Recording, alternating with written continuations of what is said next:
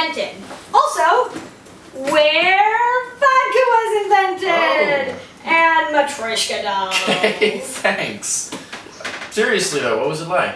Um, it was interesting. You know, the trains come every 30 seconds. Everything's Really? really grand. Yes.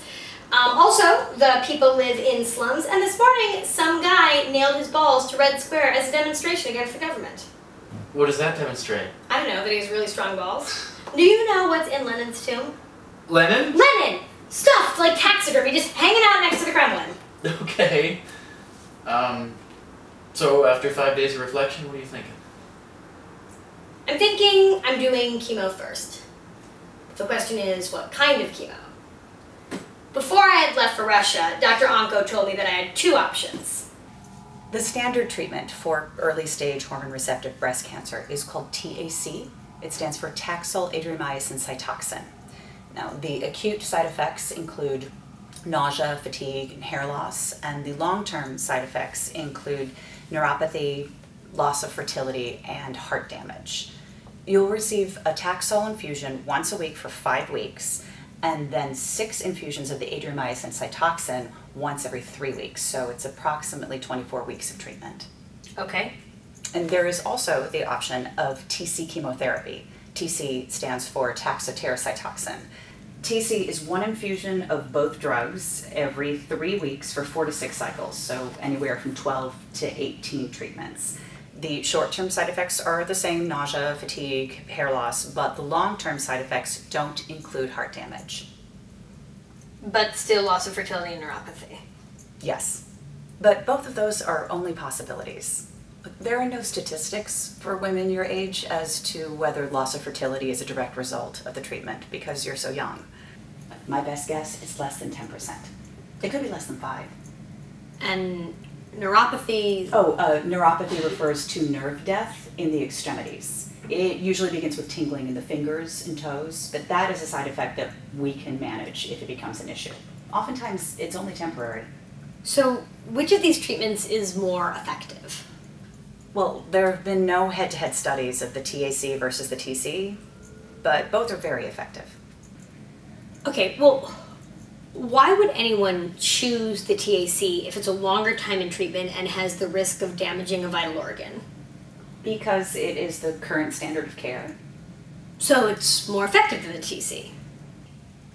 Nope, it's just the standard. So do you learn any Russian? Я не говорю по-русски. What does that mean? I don't speak Russian. And apparently, I don't speak cancer either. Strangely, a friend of mine from college underwent treatments for breast cancer right after we graduated. Nina was the same age as me, and I figured that she spoke fluent cancer, and God knows I needed a translator. My doctor wouldn't let me do TAC. He said the risk of heart damage was too great. You know, he didn't want me dealing with heart problems in my late 30s, 10 years down the road, so. So, why would my doctor recommend it? TAC is the industry standard, so most people are going to take that drug. But TC is the new drug combination. And by new, I mean it's been around for like 10 years as opposed to 25. So, with both the TC and the TAC, there's fatigue and nausea and hair loss, yeah? Well, yeah, but not everybody has all those symptoms. And the anti-nausea drugs are so good now. I mean, I didn't throw up at all during chemo. I mean, of course I was tired, but I kept living my life and working. I mean, I planned my wedding through my chemo treatments. And I got married in between my third and fourth rounds. Now, you have hair in all your wedding pictures. It's a wig! Which is actually easier than, you know, doing my real hair. I picked that shit up on Thursday, put it on on Saturday. Okay, um, did you have problems with neuropathy? No, I mean, not really. Just a little tingling in my fingers, you know, but it went away. But I did have a lot of side effects that your doctor didn't mention. I actually had a major allergic reaction to the Taxol, and um, I had heartburn, and I had major taste changes. Awesome, so much to look forward to. So, this is personal, but, um, Did you lose your fertility? I mean, do you even know that, or I mean, at this point, it looks like my fertility's intact, but there's no way to really know until we actually try to have kids, which is way down the road for, for no other reason than maybe the tamoxifen. Um, but you know, I did the egg preservation, so honestly, on the whole, you make this sound a lot easier than I imagined it would be. it is, especially because most young women have more aggressive cancers. This breast cancer, it's the best kind of breast cancer to have. I, I don't know. It just seems like a lot right now. You know, there's just like so much information, and and I'm just like overwhelmed. Oh, totally. I mean, I completely understand. When I was first diagnosed, I said the serenity prayer a lot, you know? Calm me down. I used it sort of as like a mantra. God, grant me the serenity.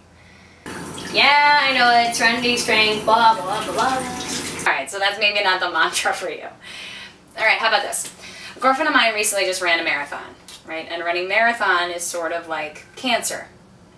And what do you think she said to herself the entire time she ran? All right, follow me. She said, How do you eat an elephant? How? One bite at a time. Look, if there's anybody that can handle this, Jacey, it's you. So just take your time, take one piece at a time, and dig in.